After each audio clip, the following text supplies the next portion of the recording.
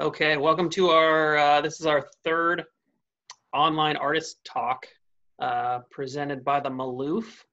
I am Seth Pringle. I'm the program manager at the Sam and Elfrida Maloof Foundation for Arts and Crafts. Today, I'm excited that we are uh, welcoming Jacqueline Bell Johnson as our uh, guest artist presenter. And if you this is your first online artist talk, you're joining with us. Uh, we are closed until further notice at our site in Alta Loma. And so we're offering these artist talks with uh, artists from our region who are featured in our gallery right now, uh, or the gallery, the exhibition that would be open right now. Uh, we have an exhibition called uh, A Thriving Artist Community, photos of artists in their homes and studios. And so uh, our first art, artist talk was with Gina Lawson Egan. Our second one was with Lauren Verdugo. Uh, we're we've lined up our, our next few artists also. Uh, so I can announce next week we'll have Conchi uh, Sanford. Uh, the week after that we'll have Ken Johnson. After him we'll have uh, David Amico, and then the next week CJ Gillick. So we'll be sent, uh, creating uh, registration pages for those talks. So keep an eye out for that. Uh, just a little um, Zoom uh, functionality advice if you're not used to using the whole Zoom meeting format. Uh, in the upper right of your screen, you'll see you can choose which view you want. You'll probably want to select uh, speaker view, not gallery view, and that will automatically focus on whoever's talking. And then down in the bottom of your menu, there you'll see chat with a little uh, speech bubble there. Um, we will, after uh, the end of the slideshow, we'll do a question and answer uh, with whatever you have typed into the chat box. So feel free to type your questions at any time during the talk. Um, and then I'll uh, get to those at the end. So um, uh, we'll, we'll try to get to as many questions as we can. Uh, and then if you need to end the meeting in the bottom right, you should have a little, uh, or uh, leave the meeting. There's a little uh, button there too for you to exit out if you ever need to exit out. Uh, so those are probably the only buttons you'll need to use. All right, so uh, like I said, I'm excited to welcome Jacqueline Bell Johnson. A little bit about her. She uh, uh, is originally from Baltimore, Maryland. She got her BFA in jewelry and metal arts from the California College of Arts and Crafts, and her master's in fine arts from Claremont Graduate University. Uh, she is currently an adjunct professor of art at Norco College in Norco and Crafton Hills College in Yucaipa, California. She's shown her work in many, many places, a few of which would be Bunny Gunner, Bunny Gunner Gallery in Claremont, uh, Cerritos College Art Gallery in Cerritos, California, Human Resources in Los Angeles, Golden West College, Huntington Beach, uh, California, the Koellner Graphic Werkstatt in Cologne, Germany, UCR Arts Block in Riverside, the Torrance Art Museum in Torrance, California, Gallery Conceal Shibuya in Tokyo and Current LA, the Public Art Biennial. So uh, I'm going to hand it over to Jackie. Thanks. Uh, hello, Jackie. Hi. Thank you all for coming. Um, okay, so yeah, everything he said is true, so that's good. Um, I actually live down the road from Maloof, so local is like full definition here. I am definitely a local artist. Um, I guess I'm just going to jump right into the talk. Yeah. Okay, so I have all these fancy schmancy pictures to show you. There we go. Okay. All right. Um, so craft is a really big part of what I do, what I like. Um, I really like working with my hands and exploring materials in a tactile fashion. Um, I also am interested in how craft connects with labor and uh, conversations about uh, labor and the value of labor, skilled and unskilled.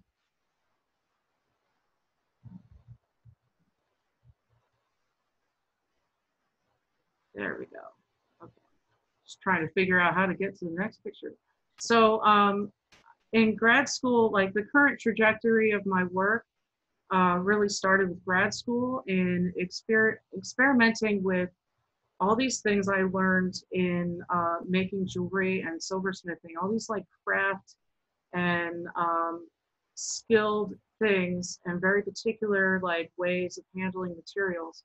And what happens when you throw that, blow it up, and kind of break a lot of the rules about things being scratched, things being rusted and corroded. Um, so this is like the first piece that I did in grad school that really married both um, where I am now and um, this background in craft. So this is in steel and it's got, I, I let it uh, weather, you know, rust out in the rain. Um, when you touch it, it actually will wriggle and hum. Um, and of course, like the shadows on it. I love shadows. I love line and bringing line into my work and how it can repeat and form pattern. So uh, all those aesthetic things are also in the piece. Okay.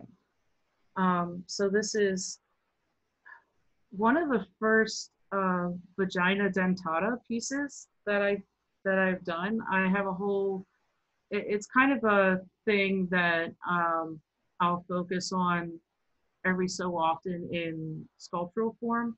Sometimes installation, mostly in sculpture, but it's there's so many different levels to this. Um, there is this legend of vagina dentata, and uh, it was a way to warn ancient Greek young men about loose women.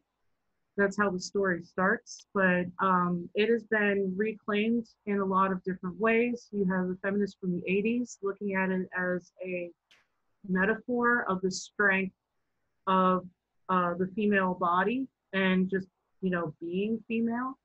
Um, it was literally translated into an anti-rape device, so vagina dentata, um, that is used in a lot of places, uh, third, third world countries. It is a device that um, the user would wear, the victim, I guess you could say, and if they do fall victim, it has to be surgically removed from the perpetrator. Like it's a pretty intense thing there. Um, but again, like I like to bring all those ideas into the conversation, but it really is about, um, well, it starts as a meditation on form for me.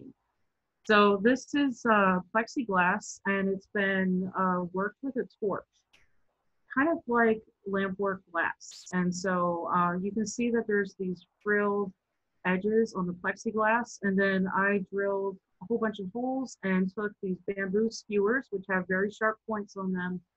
And uh, after they were painted, I bolted them in there, glued them in. Um, so it, it's spiky, it's got a pink ombre going on. Um, yeah, one of my favorites. Um, this is uh, Vitruvian Man. So if, if you're not familiar with this part of art history, uh, Leonardo da Vinci did this drawing called The Vitruvian Man, and it's the one drawing, you see, you have seen it before. Everybody has seen it. It's, the arms are out to the sides, the legs are out, and they show the Da Vinci has drawn a circle and a square over top of this nude male form. Um, so Vitruvius was this ancient Greek architect, and he wrote, oh, like 25, 30 volumes or so of um, different theories on architecture. So he's the first one to really kind of come up with the uniform formal aesthetic for ancient Greek architecture. And he would bring it back to um, the golden spiral and that the ratios of architecture had to match the ratios of man. So for instance, so many hands high determine the height of a person. So so many chunks like column pieces high determine the height of column. So it's this um, kind of uh, universal aesthetic that they came up with about proportions. Anyway, so I took that idea and um, I created a wooden armature of my measurements with my arms held out and my legs out.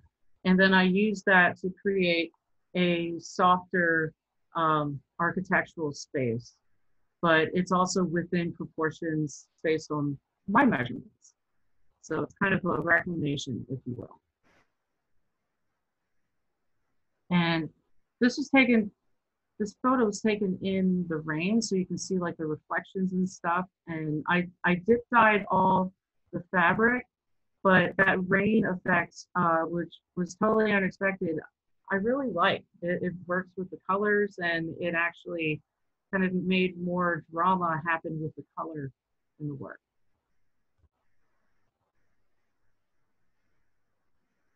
So this piece was a storyteller. Um, I named it after there's a show called The Storyteller by Jim Henson in the early 90s. And the opening sequence, there is this bird that flies through while the narrator is going. And then all of a sudden he goes into a house and turns into a man and sits on a chair. And that's the narrator.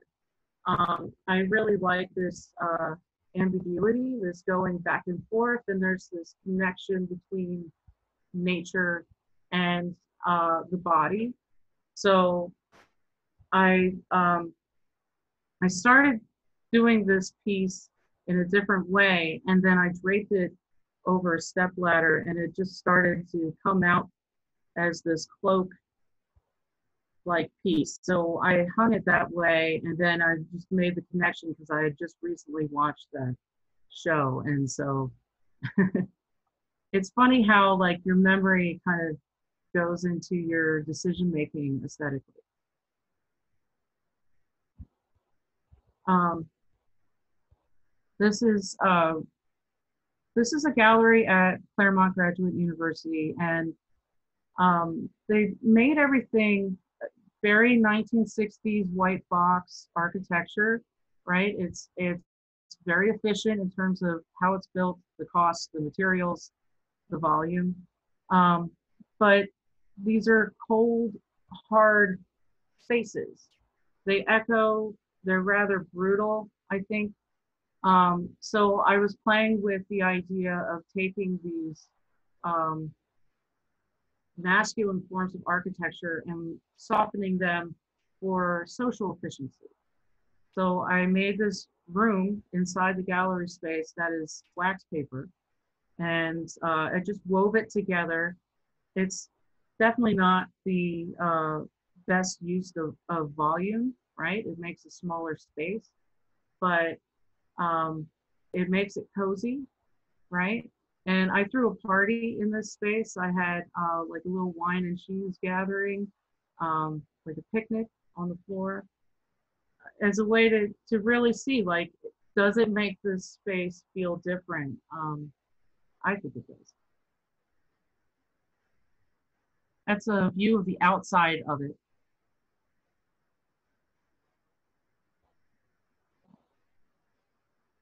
Um, there be dragons. Um, sometimes I really get stuck on titles. I really throw my hands up in the air. I'm not really sure what to call it. So this is Dragon One. There Be Dragons was my thesis show at CGU. Um, and this is a mix of, of everything I was exploring in those two years. There is uh, welded steel, there's dyed fabric, there's these hard lines and soft lines, the um, organic and uh, you know the geometric kind of combining. You can see some of those uh, parachute cords that are anchored into the walls there from um, the side angle. Let me see. Yeah. you can see uh, some of the grid like uh, structures that come out of it. Um, and again, like looking at form and how form can also be space. And I like this uh, duality that certain approaches to installation can have, right? It's an object, but it also is a space.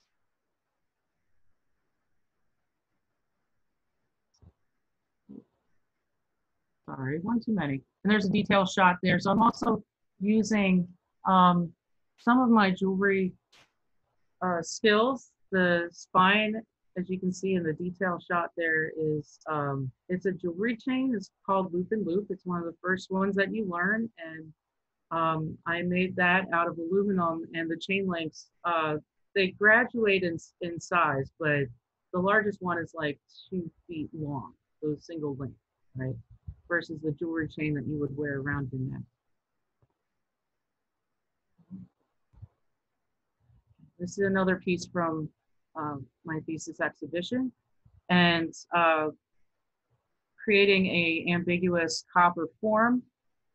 And these wood pieces are actually strung on a curved piece of steel rod. So they're beads, And um, I used, oh, I don't know, like 5,000 brads on the spine of, of those wooden pieces and there's thread catching on all the brads and you know give it some color interest. So I really look at the process is a lot of where the meaning is, where it resides in the work. So it's the act of the repetition of using that brad gun over and over and over, right? It's it's very violent if you think about it. I'm stabbing these pieces of wood. And uh, after uh, hurting them, right, I'm connecting them back together with string. It's a, a repair almost. Um, so after grad school, I wanted to create some accountability for myself and I wanted to kind of hold on to the community of uh, colleagues that were part of my uh, graduated class. And so, um, along with a few other friends, uh, I kind of co founded the LGT group. Uh, Let's Get This, or Legit, right? LGT is short for legit. And uh, proceeded to throw a bunch of art events and exhibitions either as a curator or as like admin support um, or you know as the person negotiating the real estate because um, we had a few where we went into empty studio spaces and we signed like a, a waiver to have a show pop up for a weekend and it was a great uh, chance to kind of continue the fervor that comes with grad school um, so this piece here is uh, your suburban palette is blocking my view. It's made out of paint cans. So in grad school, and um, Seth, you probably know about this too. Uh, the we had all these uh, paint cans donated to us, and uh, there were so many like you couldn't consume them all. You couldn't use them all. Just high quality uh, house paint but they were rejects, uh, like test paints that were turned away, right? So um, these paint can lids are all test paint that people tried and they, or they decided they didn't want to buy it, so they're returning it. Um, and I made this lantern out of it, very crude, and it hangs in this apartment space uh, that my friend uh, Uni curated for LGT. And the show's called Just Ignore Me. And this piece is hanging in the middle of the room and you have to walk around it. You can't walk under it. And that's kind of the point, right? Like it's it's blocking your view of the entire living space, this domestic space. This the show was inside an apartment that had been emptied out because they moved. Um, so it had like another week on their lease so they took it and used it to make an exhibition. So that's what this this is here.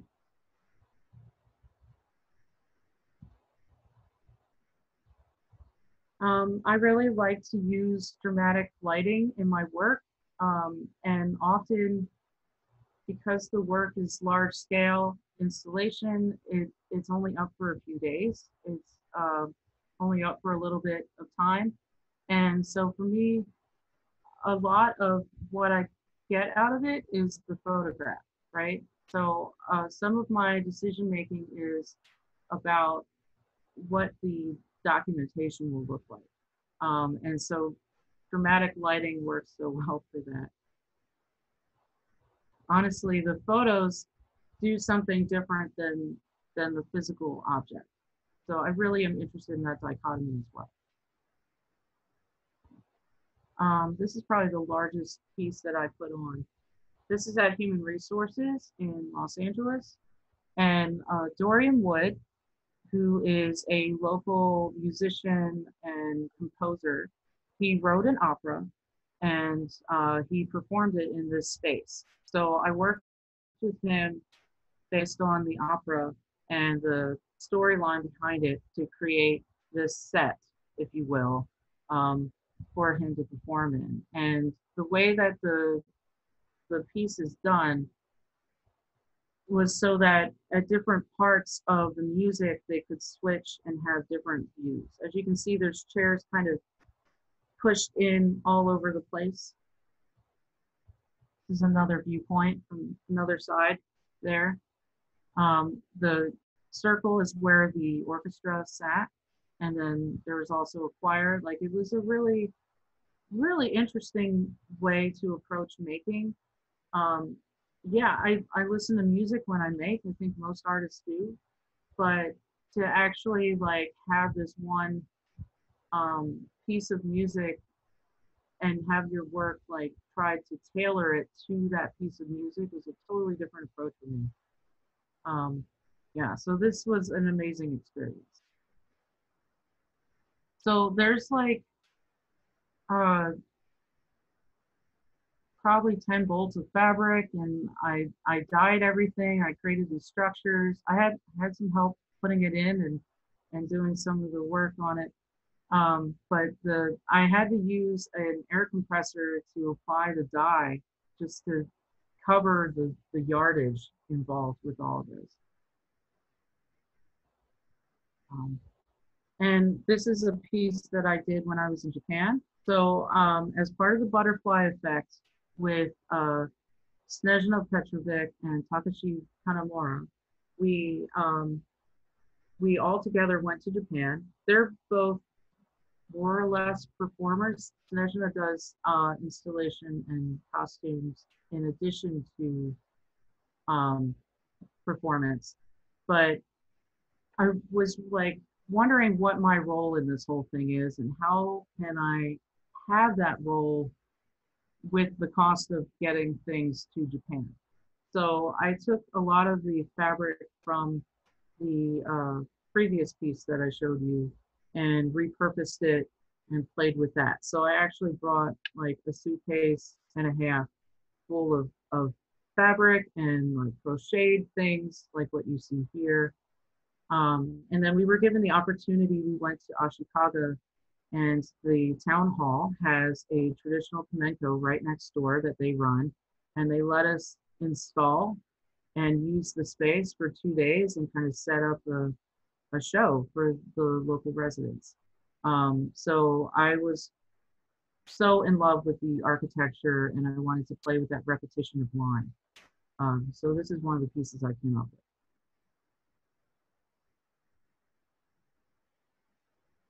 And this is a shot of a performance piece.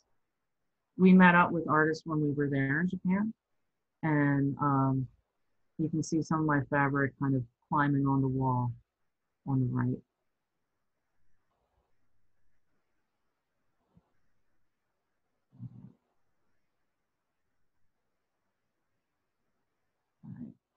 And um, I was invited to uh, propose an installation for the Industrial Cathedral, also known as the AES uh, power plant in Redondo Beach. This is with um, the uh, CA 101 show that Redondo Beach puts on.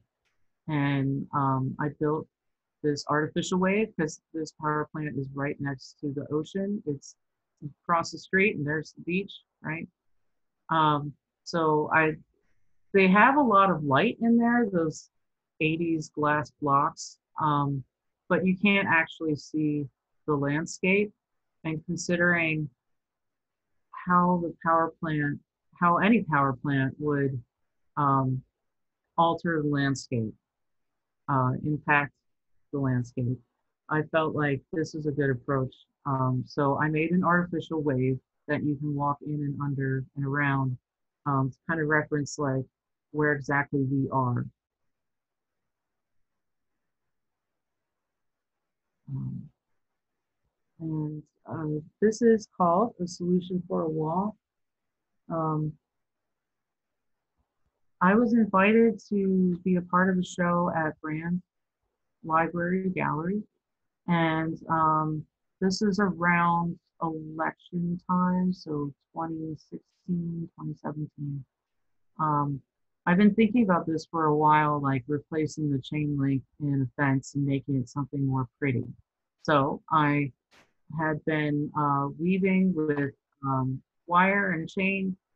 There's a whole bunch of probably about 3,000 safety pins in this as well. Um, there was a brief moment, I think it lasted for a weekend on Facebook, where people were uh, promoting the use of wearing a safety pin on your lapel to indicate that you are a, um, a friend, an advocate, um, you know, a safe person to talk to if anyone was being publicly ridiculed or bullied, um, politically speaking. Anyway, so I made this with 3,000 or so safety pins and wove them all together and replaced the chain link in this fence with that. And a solution for a wall, I think, is um, pretty straightforward there. Uh, being we're in Southern California and immigration is an issue, um, a topic.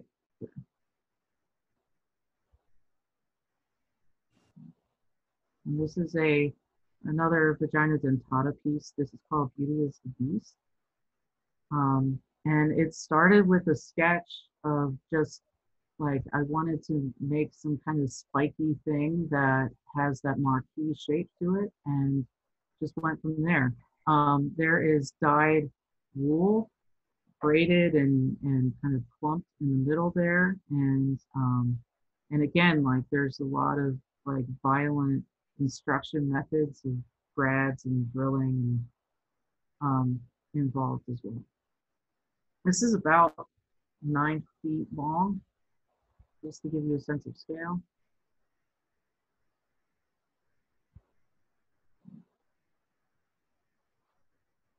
Um, so when I was working on the other two pieces, this tree branch fell into my backyard from my neighbor's tree.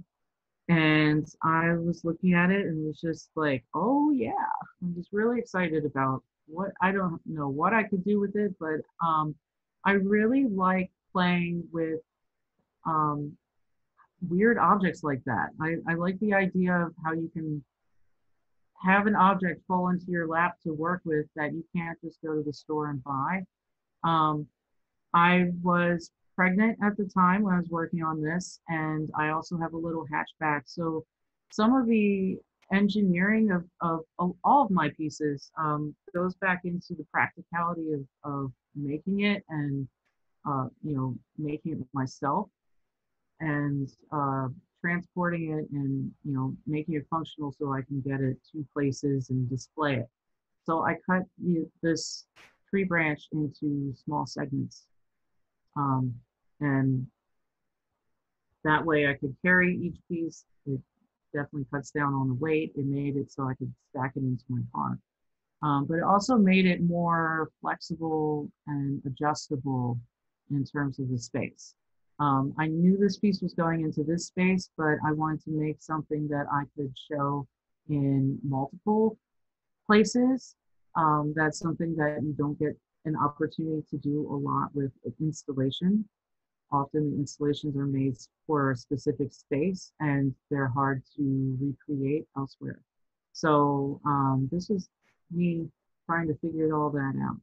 Um, so origin of the species goes into the idea of like we have so many different terms for for the wood and lumber, right, and trim that we buy from the hardware store. It's a huge disconnect from it being a tree, from it being, you know, a, a resource, a natural resource. And um, I just wanted to kind of create a friendly reminder of, you know, where exactly your stuff comes from.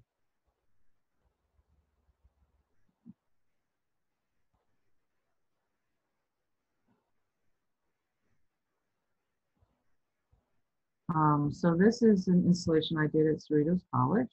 They have this beautiful gallery and brand new building, and they have a like display wraparound space on the outside of the gallery.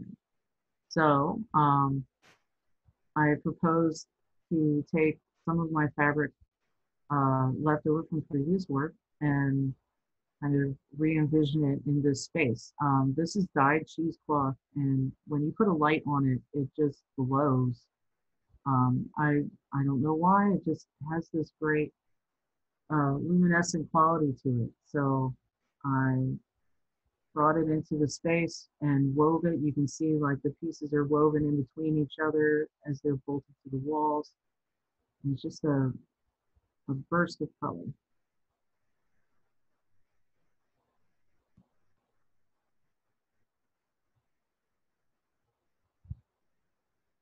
Um, this piece is called Light Wave. And um, this is in its like deactivated form shown at San Pedro last year. I want to switch to this picture. Um, each one of those glass sconces has a microphone and a computer chip and lights set up in it. So the piece will light up based on the sound that it hears. Um, this is definitely a new direction for my work. It's something I want to explore so much more. Um, it also is has a very steep learning curve and can be a bit on the expensive end. But um, this is a, a, piece that represents so much for me. I learned how to um, CNC on this piece. I learned coding on this piece. Um, I did all the electrical wiring and soldering, all that stuff. And um, it really is a beautiful piece. There's only four shown here. That's all I could get working at the time of the photograph, which was at San Pedro last year. But I have um, about 10 of these. Um, I'm working on making a full set of 20. And I would love to have this kind of set up in a space that has really weird echoey acoustics to see it's it's a visualization of the sound. And so therefore it's um, a validation of the viewer right? We have a lot of artwork that is about it puts a lot of pressure on the viewer to figure out what the artwork is about and uh, to kind of come in with this knowledge or you have to read all these statements to understand what's going on but this is really a piece that kind of talks about just the where is the viewer in the room? Are they audible? Um, so it really is more a reflection of, of them and their activity in the space um, rather than just being a one-sided type of piece. Um, and then i have a piece up right now uh, that you can't see at Golden West College. They have a show up called Type, and um, I've been playing a lot with uh, with 3D printing, with CNC, with um, computer tech, Arduino. Um, I go to a local makerspace, Makers, in, in Upland, Claremont, right on the border there. Anyway, um, so I uh, found plans for a miniature printing press and have been playing with making prints um, so I started making a lot of these prints. Um, the story is though, right? I've been collecting text on my phone for the last two or three years. Uh, phrases that pop up that I see on Facebook, things that pop up in my head when I'm reading the news or reacting to something. Sometimes it's a catchy meme, right?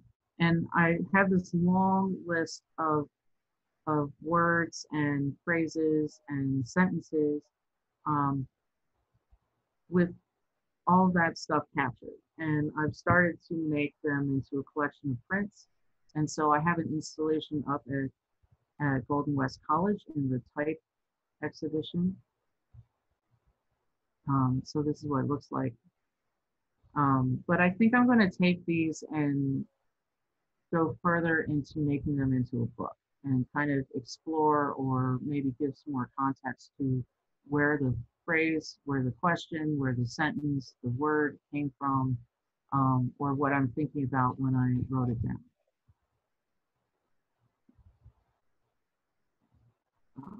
And yeah, it's sad that this is still up in the gallery and I'm not really sure when I'll be able to even collect it.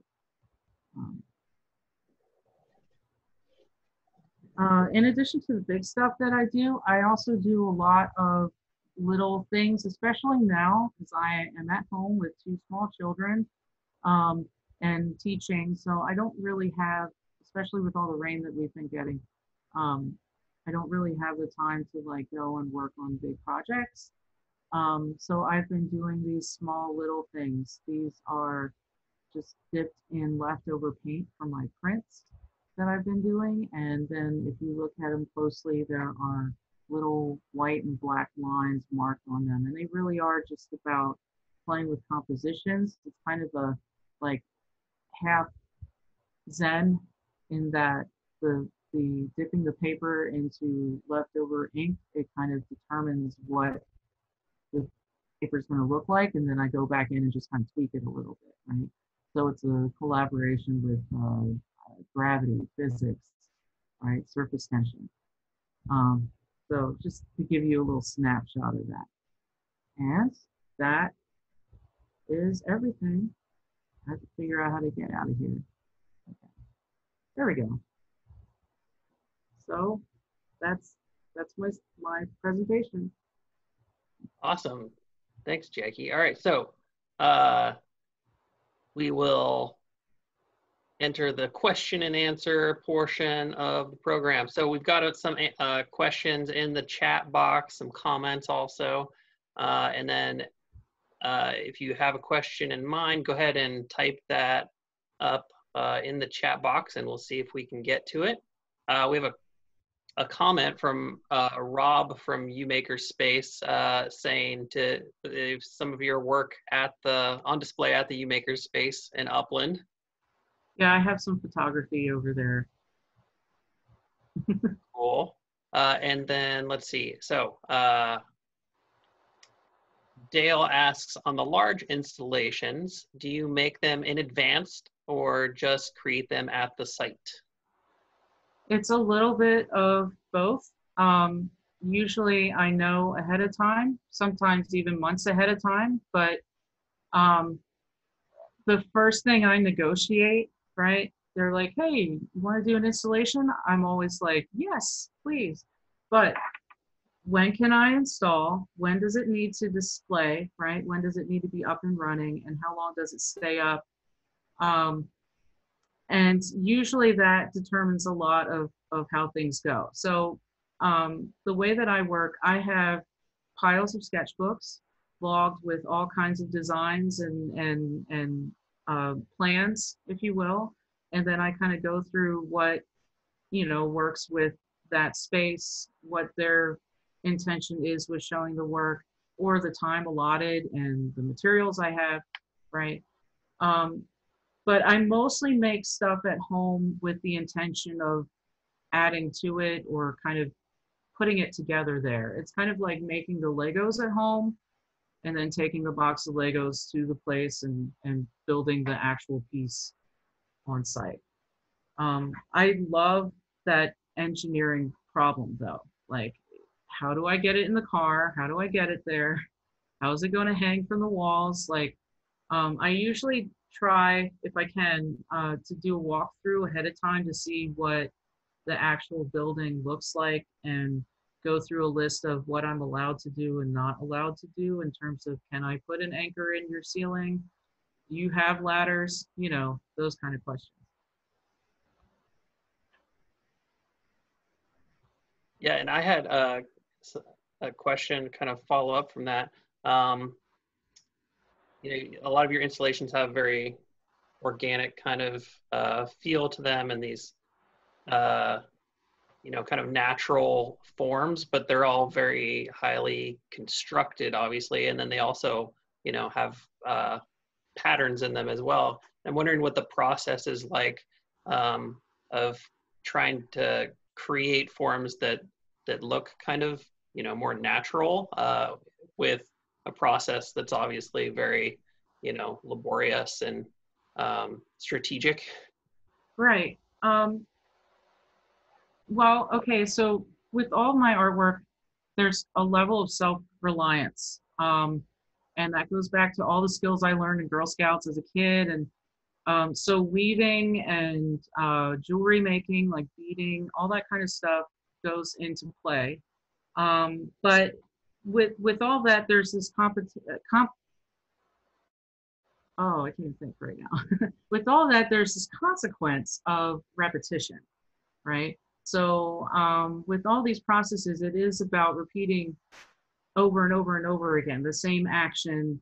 Um, so it winds up becoming organic because all of a sudden now you have all this whole collection of the same thing and then um, for me, it's a, I really like to try to undulate in there, and that does bring more of an organic quality to it. But I think um, when you when you have uh, such a level of repetition, we automatically go into thinking about colonies and hives and you know the leaves on a tree.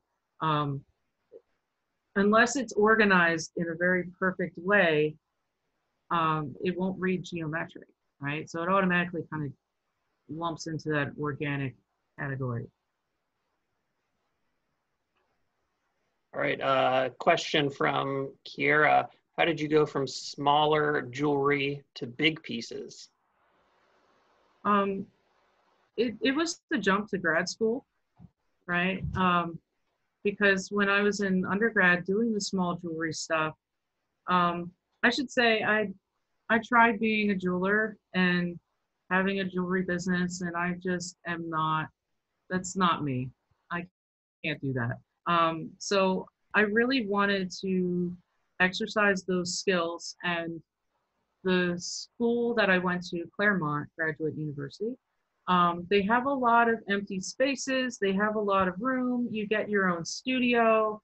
Um, it really, it just allowed me to just kind of expand right and so the first thing i wanted to do was to get back into making jewelry because that's what i know but i didn't want to just make jewelry. I wanted to kind of um, look at the process of it and explode it a little bit. So i started scaling it up also because um, you know small silver is very expensive but like big wooden and plastic pieces are real cheap right?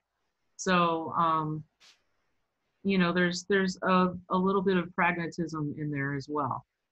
But just having the space, it, it really helped because I never had that kind of space before. All right, uh, let's see. Um, question from Mary. Have you always been interested in working with materials that appear uh, to flow and are light or breezy? Um, I think I can make any material look flowy and light and breezy. Um, I, I think it goes back to the necessity of things. Um, you know, when you're working on a budget, you just look for what's around that um, is inexpensive. So rolls of wax paper. You can buy a gigantic amount of cheesecloth for not very much money, and I still am using some of the cheesecloth that I bought when I was in grad school, right? Um, so there's a part of me that like whenever I get an idea, um, I kind of go through the list of every single material that I can think of that might work to get to this shape, right? And then I go through like, okay, what what can I afford to get, or what is more realistic, you know, and is it too heavy for me to hold? Is it going to be too heavy in terms of the structure? Right. So kind of start whittling, narrowing down by uh, finding the the behavior of the material as a way to solve a lot of the engineering problems. Does that does that answer it? Did I cover it? All right, uh, and uh, Ken Johnson, one of our uh, upcoming guest artists, uh, writes, uh, it appears that rather than having a driving theme behind all of your work, your interest takes on its own way through a variety of themes, points of interest, etc.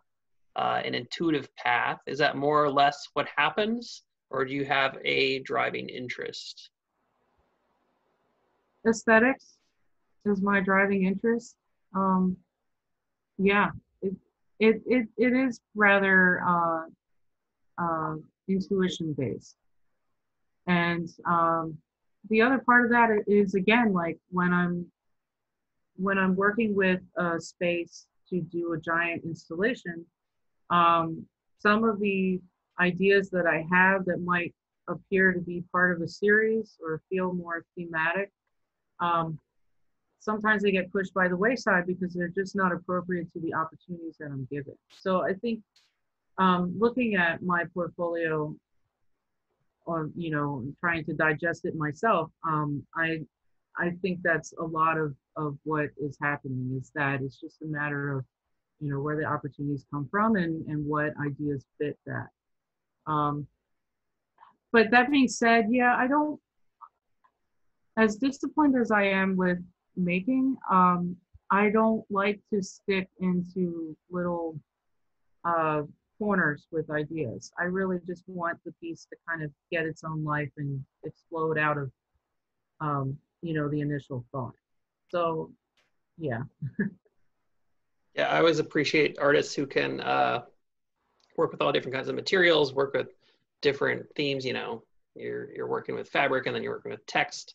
Uh, so uh, you know, kind of uh, define that uh, pressure that always seems to be there to create, you know, kind of a signature style or brand, right? Do you feel that that, that pressure of, uh, you know, to make work that looks like work you've made before, you know?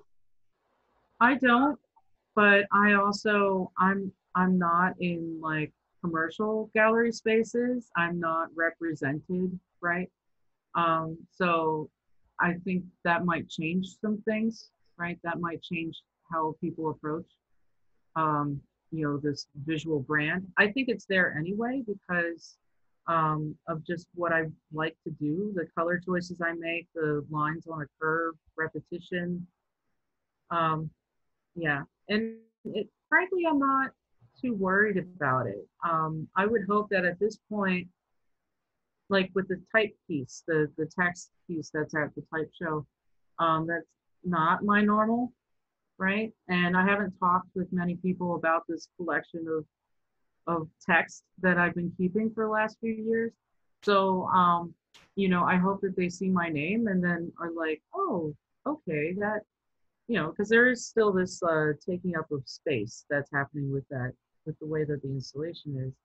Um, but yeah, I I I kind of I like that as a surprise when I look for other artists' work, like who did what, and oh wow, they're taking a, whole different path with this piece right here.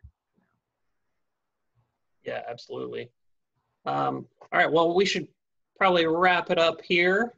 Uh, thanks for all that. Um, any final thoughts? um, thank you all for coming and for listening to me talk. And um, you can find me on Facebook if you found this uh, event through Facebook. I'm attached to it, and you know, send me a message, say hi. Um, if you have any more questions for me, feel free to send them over. I will gladly off your ear off.